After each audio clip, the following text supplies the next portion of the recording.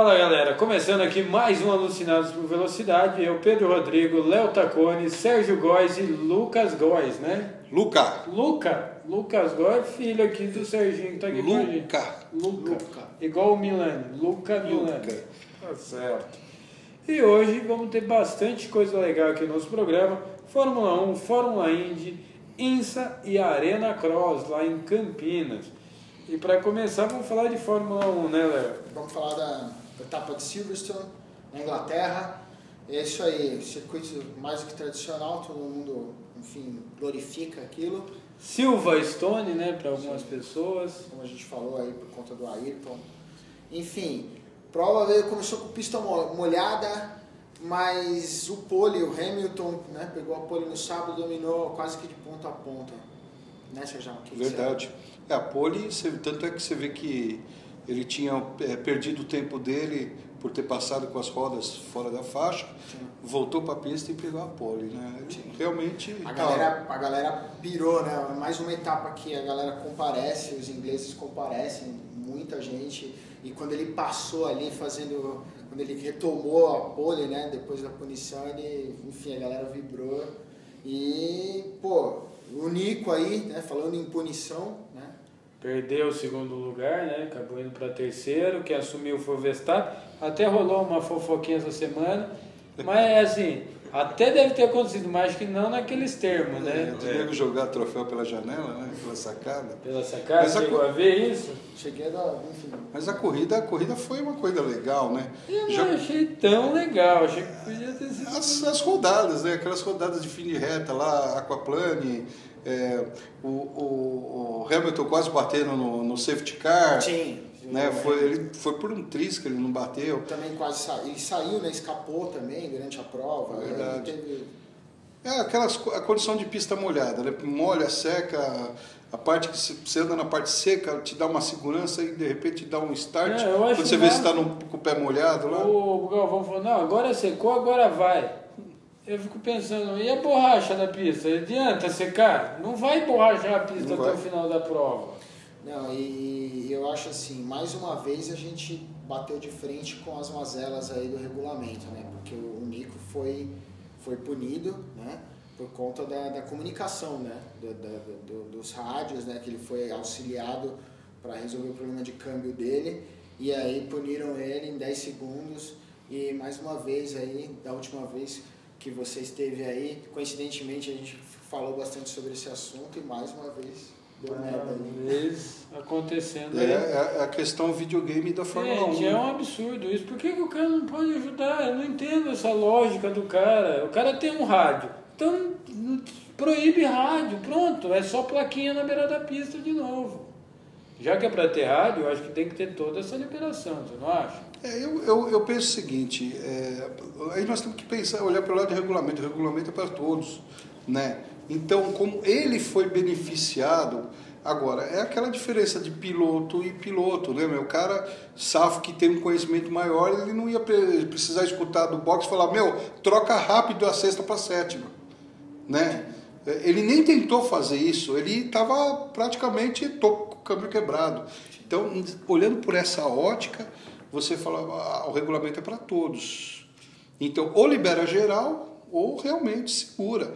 Eu acho que, na verdade, isso aí é, é, sabe, deprecia o piloto. É, eu acho que é uma, é uma, é uma putaria. É verdade. eu acho, porque eu- ali a situação, o estresse ali, enfim, você que é piloto sabe, porra, caramba, se é como o Pedro falou, se já estabeleceu que tem o contato entre a equipe, pelo rádio, né, e o piloto, enfim, cara, qual o problema disso? Enfim, é uma, pra mim é o que eu falei, é uma putaria, mas... É, eu acho, acho que se tiver liberado, libera para todos. Mas eu volto a falar, o excesso de eletrônica na Fórmula 1 é, tira o brilho da corrida, cara. Sim. Tira o brilho da corrida, porque o negócio ficou muito automático. É, meu, você tem, o, o que você tem que fazer nos boxes, ou o que há um tempo atrás você tinha que fazer nos boxes, era é, regular seu carro para condição de pista. Hoje o cara vai falando assim, pega um seletorzinho do, do volante e vai mudando o mapeamento completo. Você começou em pista molhada e terminou em pista seca antigamente.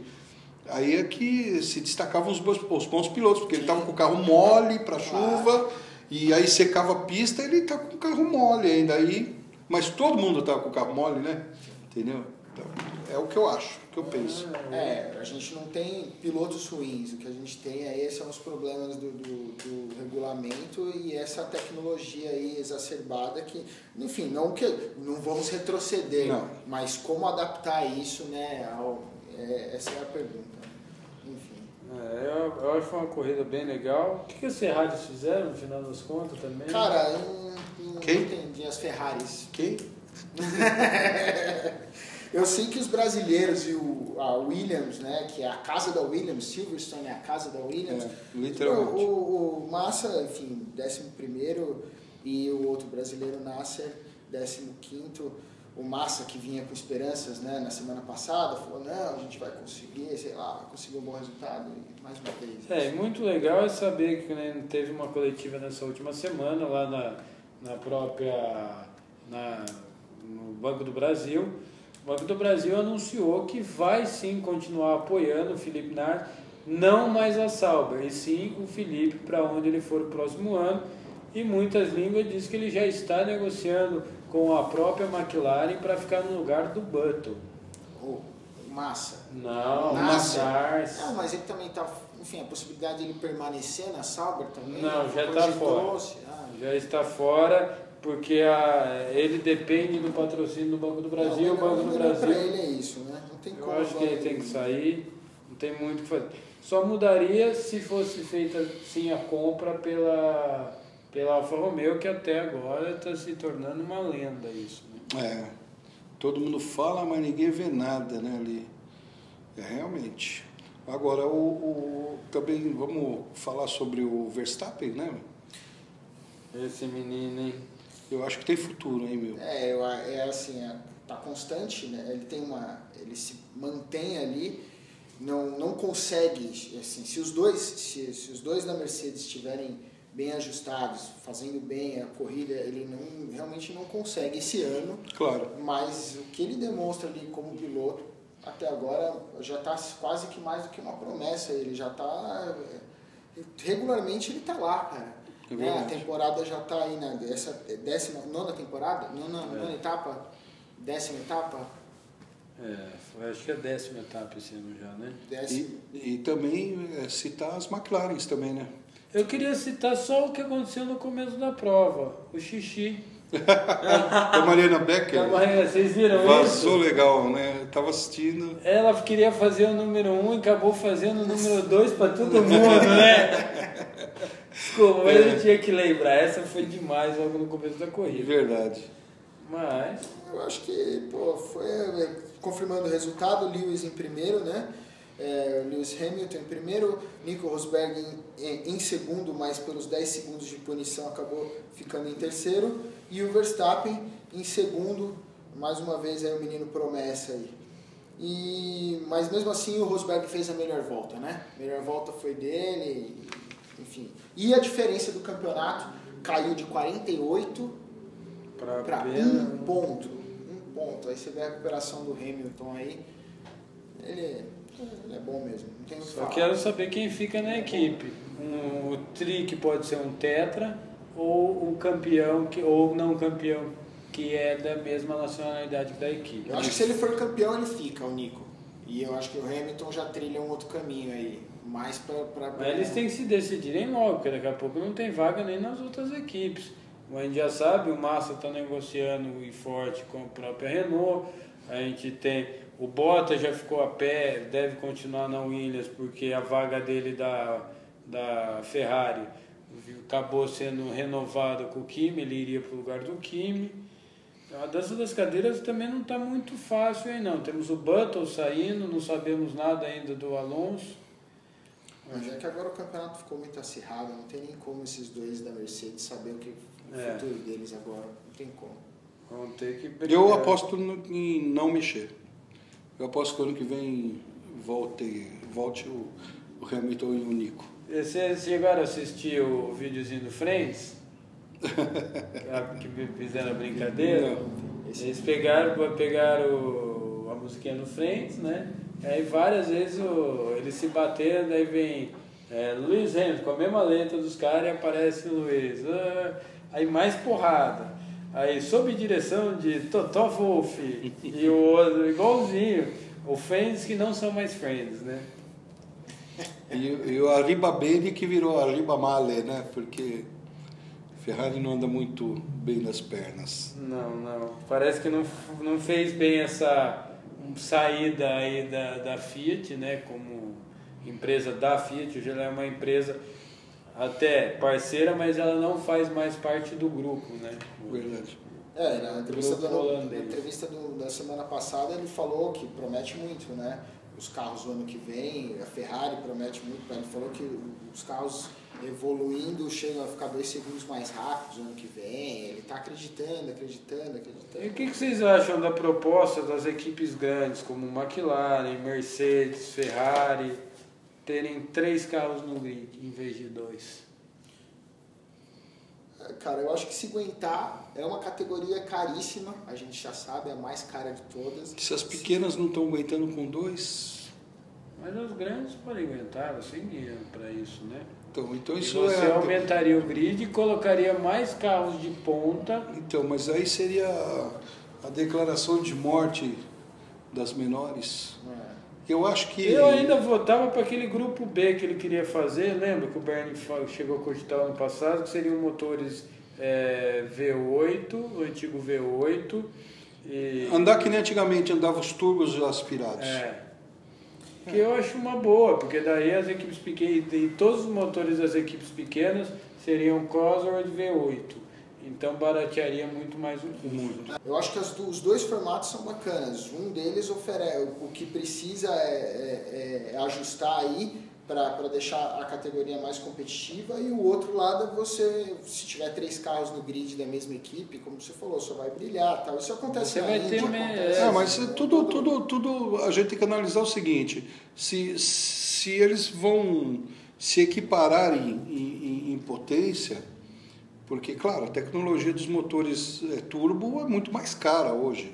Entendeu? Se abrir para recolocar os motores V8 é, e, e, e, e, eles brigarem de igual para igual, legal. Eu acho, eu acho maravilhoso, cara. Não, quero ver espetáculo. É uma segunda Sim. categoria, não vai brigar de igual para igual, você sabe disso. Mas dá, né? Dá. Mas é, era Só ser. que aí vai retroceder também você vai voltar a ter igual 92, que a gente teve aquela. Tivemos dois campeões de Fórmula 1, grupo B e grupo A, né? É verdade, mas eu penso assim: se você perguntar para qualquer amante da Fórmula 1, é, você quer continuar com os motores é, turbo ou você quer voltar para a época do. Bom, todo mundo vai falar, eu quero V12, eu quero V8, porque a musicalidade dos carros é é, é outra coisa, não, né? mas nada impede você ter, como a gente tivemos na década de 80, os motores V12 turbo. Sem dúvida. O motor V10 turbo da própria Ferrari. É, eu acho que isso não impede, porque hoje o turbo, é, vamos falar de tecnologia, é o melhor motor que tem. É em consumo, em durabilidade, em, na própria parte de, de, é, de poluição, ele, ele é menos.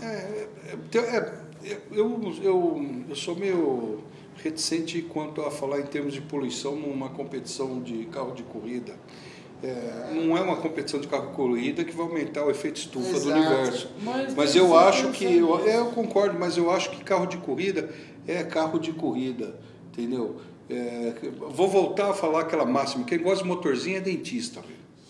Né? Acho que tem para tudo, gente. Acho que, é, acho que o grande é você saber. Eu, eu, eu, nesse lado, eu gosto muito do, da, da ideia do americano. O americano ele é muito fiel à, à essência do automobilismo. As categorias top eh, de, de automobilismo nos Estados Unidos preserva muito o, o, o arroz com feijão. Né? Você pega um carro da Fórmula Indy, ah, tudo bem que aquela baratona anda mais em circuito oval, não, ela anda muito no circuito oval e anda no circuito misto também. Sim. Ah, mas se colocar um, um, um Fórmula 1 e um Fórmula 1 Indy para andar junto? Não sei, um Fórmula 1 dá para comprar quase o grid do Fórmula Indy. Exato. Então, essa, esse é o ponto de vista que a gente tem que ter. Por isso que nunca vai ter, o Bernie vai autorizar claro isso. Mas eu, eu adoro o formato do automobilismo americano. Eu acho que, é, é falando de essência do automobilismo, é o que mais preserva. É, que tem um respeito maior, né? Não Sem tra- dúvida. Não traz essa só Eu acho do que toda a né? parte de melhora, de, de tecnologia, de avanço é, é. Eu sempre fui a favor e falo isso que toda categoria tem que fazer por onde? Muito por quem trabalha com carro. Ah, mas o carro. Você hoje consegue diminuir colocando o carro a etanol, você já diminuiu a parte de poluição. Pode ser feita uma ação em cima de tanto de CO2 que é mandado durante o final de semana, você faz implantação. Claro. Ah, mas devolu- Você É, compra o crédito carbono. Crédito carbono, eu acho que é, é- é esse é o caminho. Mas é, a gente tem que olhar o outro lado da Fórmula Sim, 1, mas que é o desenvolvimento, É. claro. O desenvolvimento que vem para o carro de rua. Isso é E importante. hoje você não pode falar, a Fórmula 1 tem três motores, não tem um mais. Você ter, tudo é motor hoje, é híbrido, né? Mais alguma coisa de Fórmula 1, gente? É isso aí. Eu acho que Fórmula 1 foi. Completamos aí é, as análises sobre essa etapa. Vamos para a próxima agora, Fórmula Indy, circuito oval de Iowa. Iowa Corn 300. né? Décima etapa, essa sim, décima etapa. Estamos aí na, na segunda metade do campeonato. E o New Garden, New Garden que, que se recuperou do acidente aí, né? Como tinha quebrado Venceu a de ponta a e- ponta. E a mão direita. Então, se recuperou bem, já na segunda etapa, é depois do né? acidente, ele já venceu de ponta a ponta. E o piloto da Ed Carpenter Racing ah, deu uma volta em cima do terceiro lugar, cara. Terminou a corrida com uma volta em cima do terceiro lugar. E somente os cinco primeiros é que. no- deu uma volta no terceiro lugar, perdão. E somente os cinco primeiros é, que, que estavam na volta do vencedor, cara. Não, Se ele passou o terceiro lugar, só os dois primeiros estavam na Não, não, volta. perdão, não, perdão. Só, ele, ele passou durante muito tempo só com, a- Ah. com cinco primeiros na, na volta do vencedor e terminou a, a etapa com uma volta em cima do terceiro, cara. Quase pegou o segundo. Então, quer dizer, o moleque andou muito, 25 anos de idade, aí, o moleque é, o moleque é o capeta. Will Power, como é que foi? Nosso Will querido. Power, segundo lugar. E terceiro lugar, o atual campeão Scott Dixon, né? E o atual líder, nosso querido Simon Pagenaud. Pagenaud, cara, terminou atrás, acho que sétimo lugar. Não, sétimo lugar quem terminou foi o Canaã, o brasileiro, foi o melhor resultado do brasileiro. O Hélio, o segundo do campeonato, em décimo terceiro. E, o Pagenaud, líder do campeonato, não ofereceu muito. O, quase aconteceu alguns acidentes nas entradas e saídas de boxe, que é muito rápido. Sim, não, é, depois de um certo. a- a- o, o circuito oval, depois, do- depois da, da metade da corrida pra frente, tá todo mundo com esse nível de estresse muito alto. Ninguém se respeita mais na saída de box, é um negócio muito louco. Em dia, as 500 milhas, então, cara, é, é o capeta, né? É, um autódromo bem legal, por sinal, o autódromo é no meio do mato, pelas imagens, o pessoal que está assistindo aí deve estar vendo, e em volta é tudo fazenda. É, aí É eu- muito legal, muito legal. Coisa que na tua agrícola, cidade tu não pode mais, né? Eles reclamam do autódromo, é porque eles construíram em volta. Verdade. Tá certo. Mas foi uma, um corridão. É, teve alguns acidentes, até algumas pancas meio fortes, né? Sim, tipo, Básicas, né? Sempre acontece, uma coisa ou outra.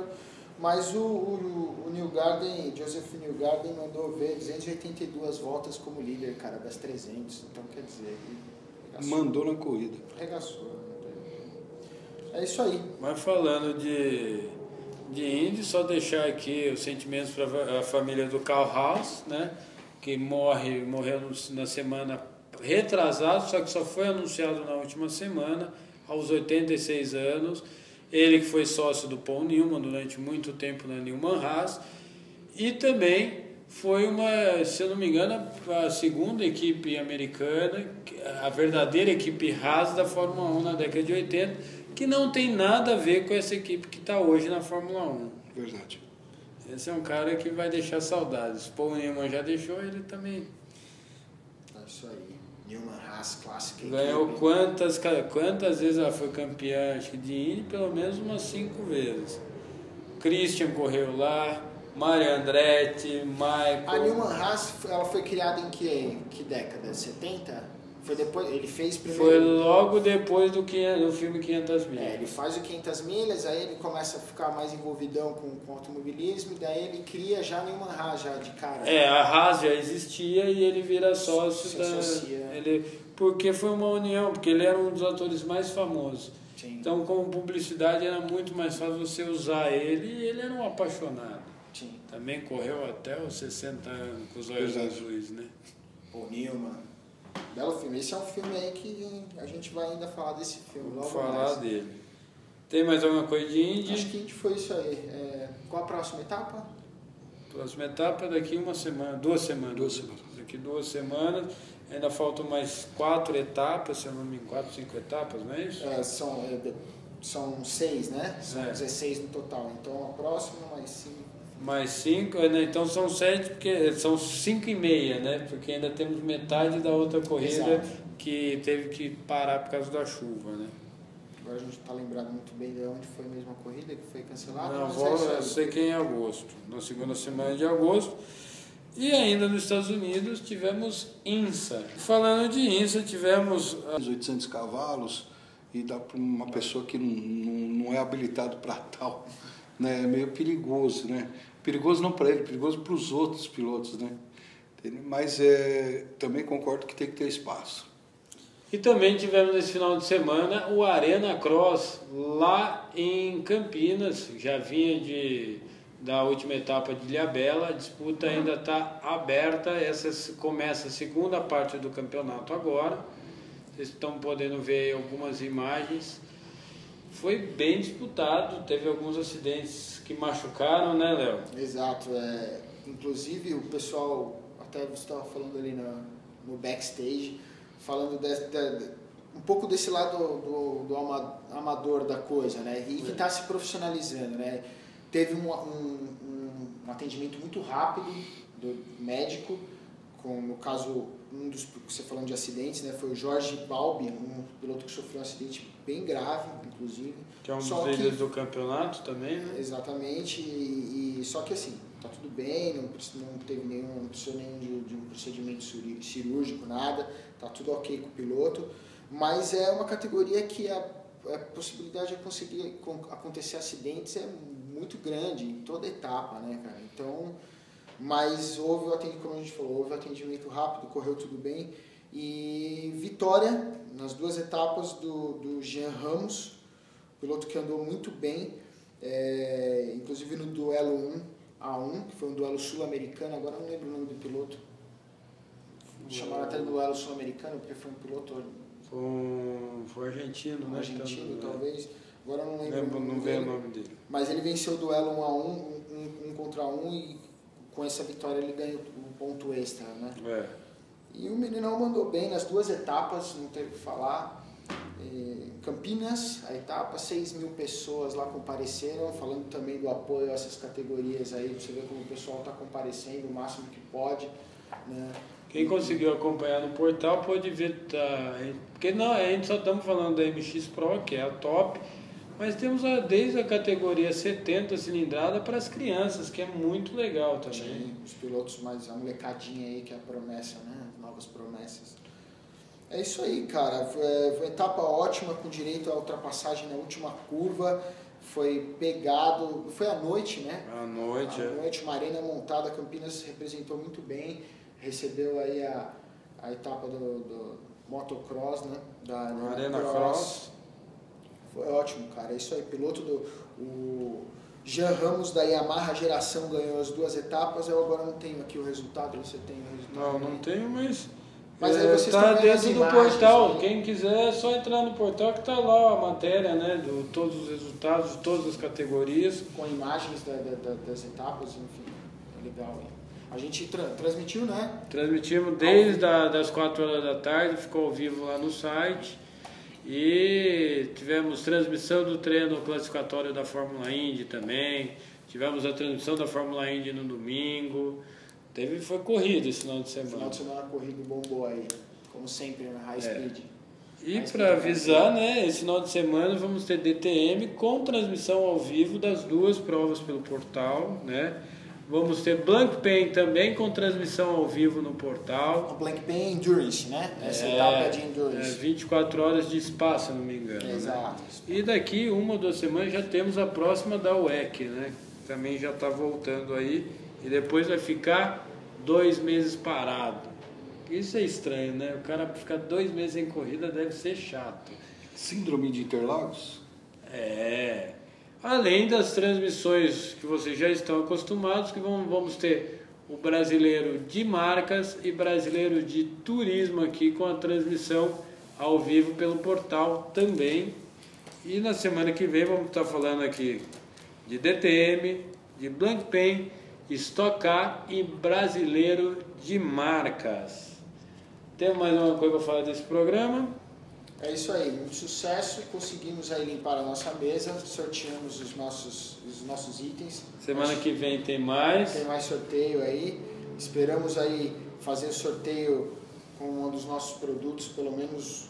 Acho que, acho que essa caneca aqui é bacana de, de chopp aqui, de cerveja, é legal seria sortear aí, a gente vai ver. Dê sua opinião aí nos comentários, vê aí o que você acha legal ou não. Se você acha legal ou não que a gente sorteie uma dessas nossas canecas. E aí vai ter mais, tem mais um bom de prêmio guardado lá para Acho vocês. Semana que vem, sem falta, vai ter o número 1 um aí, o programa, o primeiro programa do medalhão, do- dos medalhões das pistas, é, contando a história do, do primeiro, primeiro grande nome aí que a gente vai deixar para divulgar no programa, né? Vai ser o primeiro nome, vocês vão saber. Nas no próximas semanas já vai estar aí o programinha novo. Agradecer rapidinho a Escola de Pilotagem Interlagos. Você que quer fazer curso de pilotagem, cursos especiais em Piracicaba, entre em contato, fale com o Antônio. Agradecer também a Arone Troféus. Você que precisa de troféu para dar para o seu participante, dar para o vencedor do teu evento, troféu, medalha, placas, entre em contato, fale com o Edson. Agradecer também a Simples Informática. Você que precisa comprar computador novo, você que precisa comprar peça para o seu computador, entre em contato, fica ali em Santa é só falar com o Ale ou com o Danilo. Agradecer também a Pure Dog. Você que precisa de rações especiais, é, gente para passear com o seu cachorro, é, lugar para hospedar o seu cachorro, entre em contato, fale com a Renata na Pure Dog. Agradecer também a High Speed Roast. Você que precisa hospedar seu site, você que precisa de desenvolvimento, gente para cuidar de suas redes sociais, entre em contato e fale com a High Speed Roast. Agradecer também o Kart Indoor de Jaguaré. Você quer dar uma acelerada e lá brincar com seus amigos? Marque a tua bateria, fala lá com o Vasco, custa 90 reais bateria de meia hora, 10 minutos de treino e 20 minutos de prova. Entre em contato lá no Kart Indoor de Jaguaré. Agradecer também o Flávio Leal Menezes, Flávio que tem alguns carros para alugar já para a próxima etapa daqui duas semanas em Interlagos lá na Fórmula V. Tá aí aparecendo todos os dados dele. E você que não tem carteira, mas quer brincar, em breve vamos ter aí o Drive Day também. Tá aparecendo os dados do site, aí é só ir lá ver a data, ver custo, já marca lá para vir participar do Drive Day, que não precisa nem ter carteira de piloto, Não, né, não Sérgio? precisa. Agradecer também a Sprint Race. Você quer correr numa categoria nacional, num valor legal, carro, equipe única, todos os carros iguais, só entrar em contato lá na Sprint Race, fala com o Thiago Marques, o CEO da categoria e piloto também do brasileiro de marcas aí, irmão do Tarso Marques, que foi piloto de Fórmula 1 hoje do Lata Velha. Agradecer também o Fernando Crossi. Não esqueça de curtir a sua fanpage e de acessar o seu site. Em breve, informações dos novos rumos do Fernando esse ano. Agradecer também a Gran Rumo Auto Center. Você que precisa fazer revisão do teu carro, ou tem uma coisa para arrumar e está enrolando, vai lá, fala com o Luiz, todos os dados aparecendo aí embaixo. Agradecer também a CSN Informática e Eventos. Você que é dono de autoescola, precisa comprar o seu simulador que você ainda não tem, ou vai fazer evento e precisa de alguém para cuidar da tua parte de tecnologia, internet, tudo, entre em contato lá na CSN Informática e fale com o Cássio. Agradecer também o sebo Empório das Letras Interlagos. Você que quer comprar livro, gosta de ler vários livros, tudo é, bem novinho, tudo bem tudo de qualidade lá para vocês. Fica aqui em Interlagos, entre a Avenida Rio Bonito e Interlagos, de frente ao Carrefour Bairro. Tá aí aparecendo o endereço certinho aí embaixo. Agradecer também nosso diretor de imagem, que é fotógrafo, ele é cinegrafista. Você precisa, ele não consegue fazer os dois no seu evento, mas pode contratar ele, está aparecendo aí os dados, Guilherme Sato. Agradecer a revista Esporte Brasil, agradecer o site Revista Esporte Motors, tem aí todas as matérias, né? Esse que é o site de vocês, você pode falar melhor, né? É, tudo que rola do automobilismo é, e do esporte a motor. Tá certo. E agradecer também o site Punta Taco e o portal High Speed aqui, que faz toda essa programação pra gente. É... Para semana que vem não tem promoção, tá? E semana que vem vamos chegar com novos objetos aqui para sorteio. Então, galera, eu gostaria de agradecer ao aumento lá dos nossos inscritos, aumento de compartilhamento, visualização. Foi muito legal essas duas últimas semanas. E continuem compartilhando, compartilhem todas as redes sociais que você tiver, na sua timeline. Ajude a gente que a gente precisa dessa divulgação. Quem quiser apoiar a gente, está aparecendo aí o contato. Tem mais alguma coisa para falar, Léo? Não, isso aí. De qualquer maneira, pessoal, continue acompanhando as resenhas, continue acompanhando tudo que acontece no portal High Speed Brasil e qualquer direcionamento, qualquer opinião que vocês quiserem dar sobre os, sobre os programas, sobre as matérias, faça isso nos comentários, a gente agradece. É necessário os comentários, a gente precisa dos comentários e é isso aí. Valeu, pessoal. Obrigado mais uma vez. Obrigado ao Sérgio, piloto da Fórmula V. Obrigado ao filho dele, Luca. É... Também piloto, né, agora. Já está aspirante já, a piloto. Já está já, já tá contaminado. Já plantou o vírus, Já está né? contaminado. A gente está precisando aí, né, nova safra aí. E obrigado por mais uma vez aí estar com a gente. Sérgio, espero que você esteja nas próximas aí. Estamos aí. E, e vamos que vamos, pessoal. Obrigado mais uma vez aí, High Speed Brasil. É então, galera, não esqueça de curtir, compartilhar e comentar todos os nossos vídeos. Sou eu, Pedro Rodrigo, Léo Tacone, Sérgio e Luca aqui para vocês. Até a próxima semana. Tchau, tchau.